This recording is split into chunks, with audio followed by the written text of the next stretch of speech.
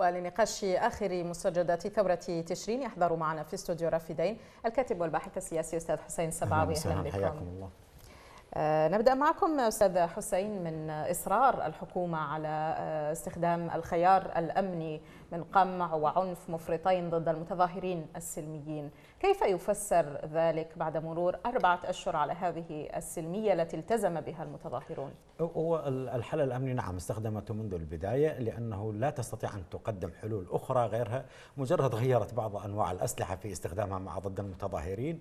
أعتقد الحكومة في ورطة من الحل الأمني لأن بالتالي سوف سوف يعاقب أو يحاكم كل من تورط في قتل المتظاهرين لأن الأمور لا يمكن أن تستمر بهذه الطريقة. في كل يوم يقتل عشرات من المواطنين وجرح الآلاف. فبالتالي أعتقد أيضا هي في ورطة من هذا الحل. نعم. نحن نتحدث أستاذ حسين عن آه، أربعة شهور من التظاهرات والثورة آه، ألف شهيد آه، آلاف الجرحى. وحكومة تقول أن هناك طرفا ثالثا هو الذي يقوم بهذه الأعمال ضد الشعب العراقي ويقتل الناس. آه، بينما هناك وثائق أو هناك فيديوهات بالصوت والصورة تثبت أن القوات الحكومية هي من تطلق النار على المتظاهرين. كيف تفسرون ذلك؟ لا يعني أولا هو لا يوجد طرف ثالث اليوم. الشعب العراقي أدرك بأن هناك طرفين بالمعادلة طرف الشعب وطرف الحكومة. لا يوجد شيء اسمه طرف ثالث. الحكومة كل الادعاءات هذه سقطت وكذبة أصبحت مفضوحة. وفي حين إن هي تتباهى بجهد الاستخباري في كشف المؤامرات وكشف المجرمين وإلى آخره. في الوقت وتعجز عن كشف لحد هذه اللحظة لم يكتشف ولا واحد من الطرف الثالث ولم يعرف من قتل هؤلاء الأبرياء. لماذا تتمسك بهذه الرواية إذا؟ لأنه ليس لديها رواية لا تستطيع أن تواجه الجمهور وجمهوره بالحقائق. ولكن أصبحت اليوم الحقيقة معلومة لدى الجميع. نعم. ما عاد يحتاج إلى تحقيق عميق ولا يحتاج لها تدقيق ولا أي شيء. الصورة أصبحت واضحة لدى الشعب العراقي ولدى جميع العالم. نعم. نعم. لدى الشعب العراقي وأيضا لدى المجتمع الدولي نعم. الذي تحرك في الأيام الأخيرة سواء على مستوى آه، الدول الأوروبية على مستوى الأمم المتحدة وكذلك آه، المنظمات آه، الحقوقية. إلى أي مدى يمكن أن تكون في الفترة المقبلة؟ آه، إدانات نتجاوز مرحلة الإدانة للمحاكمة محاكمة المتورطين في قتل المتظاهرين عمدا. يعني المجتمع الدولي هو نعم بدأ يتحرك لكنه ببطء. آه، البيان الأخير للسفراء 16 نعم. وإن كان معهم ثلاثة من أعضاء دائمين في مجلس الأمن هذا هو بداية للتدويل. وهذا أرعب الحكومة كثيرا وهي عاجزة أن تناقش مثل هؤلاء السفراء لأنه لا تستطيع لا وزارة الخارجية أبدت رأي ولا الحكومة استطاعت أن تبدي رأي اعتراض بمعنى فهو بداية للتدويل لكن الشعب العراقي لا يمكن أن يحتمل هذا البطء لأن المجتمع الدولي ما زال يتحرك فوق مصالحه فقط وليس على يعني يراعي دماء العراقيين ولم يقدم المبادئ على المصالح. لحد هذه اللحظة يتحرك وفق المصالح. نعم. عدم احتمال البطء وحراك على ميداني يتخذ أساليب جديدة من من الاعتراض بمعنى أن هناك قطع طرق رئيسة قطع جسور في إطار خطوات تصعيدية يقوم بها الثوار. إلى أي مدى يمكن أن يؤثر تؤثر هذه الخطوات والأساليب الجديدة سيد حسين في آه، آه، آه، على الحكومة وعلى ميليشياتها؟ يعني اولا الحكومة كانت تريد للمتظاهرين أن أن أن يكونوا في موقع ثابت هو نعم. اعتصام فقط وحتى يصيبهم الملل وإلى آخره واعتمدت على عامل الوقت وعامل المناخ والجو وإلى آخره. الوسائل السلمية متعددة ومتغيرة وأيضا تصاعدية.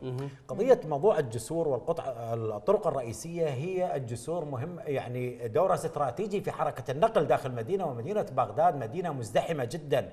أي جسر يقطع يؤثر على حركة السير وعلى حركة الوفود وإلى آخره فبالتالي لا لا يعتبروا انه السلمية هي حالة واحدة موجودين فقط في ساحة التحرير ويتوقفون. هذا الأمر تغير قيادات التظاهرات على وعي تام وكيف تغير وسائلها لكي تؤثر على الحكومة. وفعلا الأيام الأخيرة بدأ صوتها يصل إلى الخارج. آه، في ربما نتحدث كذلك عن عن هذا الإصرار آه، في الناصرية باستمرار المتظاهرين في الاعتصام. آه، وتشييدهم لأماكن للاعتصام بالطوب والحجارة آه، إلى أي مدى يمكن الحديث اليوم بأن الحكومة بإمكانها أن تنهي هذه الاعتصامات وتفشل الحراك الشعبي؟ لا يعني هي جربت وهي حاولت من البداية أن تفشل هذه الاعتصامات سواء بمؤامراتها بإعلامها بحلولها الأمنية بعلاقتها الخارجية مع بعض الدول مثلا إيران وغيرها لكنها فشلت بدليل عندما خرجت القوات وأحرقت خيم المتظاهرين في اليوم الثاني كانت هبة مليونية من قبل الأهالي الناصرية واستبدلوا الخيم بالبناء. فهي عملية تطويرية. هو بلد الناصرية مدينة الناصرية اللي استطاعت أن تبني الزقورة قبل 3500 عام عاجزة أن تبني اعتصاماتها وتدير اعتصاماتها. هذه مدينة حضارية مدينة تاريخية عميقة. آه، تعرف كيف تدير شأنها السياسي وكيف تعترض وكيف حتى تحكم ما بعد المعارضة. فالحكومة تستخدم وسائل بطيئة وكلاسيكية ولا تصلح للوقت المعاصر. نعم. سياسيا هناك أنباء عن اتفاق الكتل السياسية على ترشيح علي شكري لمنصب رئاسة الحكومة وهو قيادي في التيار الصدري هل تظن أن للأمر علاقة بموقف مقتدى الصدر من التظاهرات؟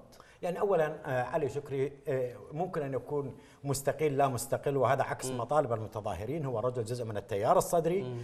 وأيضا هو جزء من مستشار أحد مستشاري رئيس الجمهورية وهذا دور يبدو أنه دور هناك واضح لرئيس الجمهورية قضية التيار الصدري بالنسبة للتيار الصدري على جمهور التيار الصدري أن يعلموا بأن هذه بأن هذه التظاهرات جاءت لمصالح وجاءت لت... لكي يحصل على حقوقهم. لأن التيار الصدري لديه مشكلة مركبة. مشكلة التيار الصدري مشارك في الحكومة لديه جمهور محروم.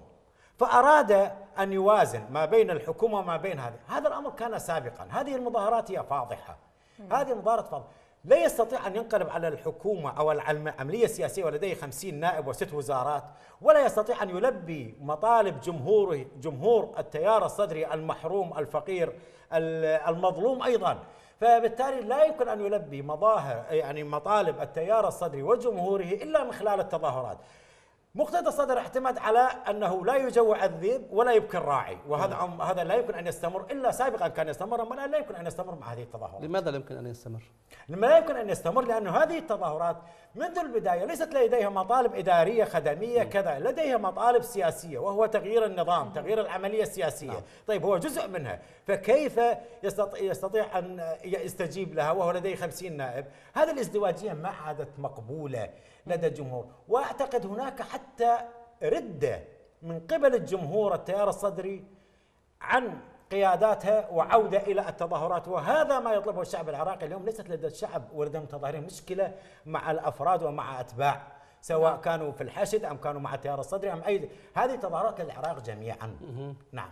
الحديث أيضا عن هذه استمرار التظاهرات ربما يجعلنا نتحدث أيضا بعد مهلة وطن في الناصرية. مهلة جديدة اليوم أعلن عنها المتظاهرون في النجف.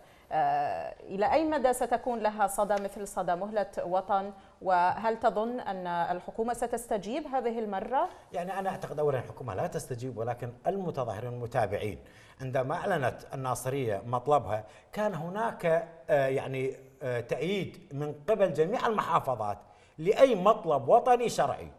فكان هناك بغداد أيدت هذه التظاهرات والمحافظات الأخرى وأيدت هذا الموعد الذي سواء آه، أيدت التاريخ وأيدت المطالب. كل مطلب ستجد أن هناك ردود أفعال من قبل المتظاهرين في الساعات القادمة. إن كانت هذه المطالب هي مطالب تخدم الشعب العراقي ستجد تؤيد نعم ستجد الاستجابة من بغداد وبقية المحافظات. وإن كانت هذه المطالب فئوية مناطقية لن تجد الاستجابة. لأن هذا المشروع هو على مشروع المستوى وطني. الشعبي لكن على مستوى الحكومة؟ الحكومة لا يمكن أن تستجيب لها لهذه المطالب لأنه معناه استجابة الحكومة للمطالب معناها نهاية هذه الحكومة. والحكومة لا تريد أن تنتهي. عندها استعداد تنتحر ولا تنتهي. مسألة الحكومة واستمرار التظاهرات أه، في الحقيقة هذه مسألة لافتة ليست ليست بسيطة يعني رغم كل الظروف التي تفضلتم فيها في البداية. أن تستمر التظاهرات بهذا الزخم على مدار أربعة شهور ليس ليس أمرا بسيطا. من أين يستمد المتظاهرون أه، الدافعية للاستمرار؟ يعني عدة عدة نقاط، النقطة الأولى أولا المشروع. هذا المشروع هو هو مشروع وطني.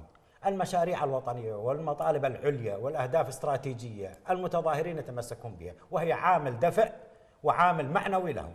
ثانيا الحاضنة الجماهيرية الشعبية الكبيرة. اليوم الشعب العراقي بغالبيته أو بعمومه هو داعما لهؤلاء المتظاهرين. نعم. فبالتالي آه، النقطة الأخرى القيادة التي يعني تدير هذا المشهد وهي غير معلنة وهي غير معلنة يبدو أنها على دراية تامة بالشأن السياسي العراقي ومع الساسة العراقيين وكيف تدير هؤلاء المتظاهرين من الشباب؟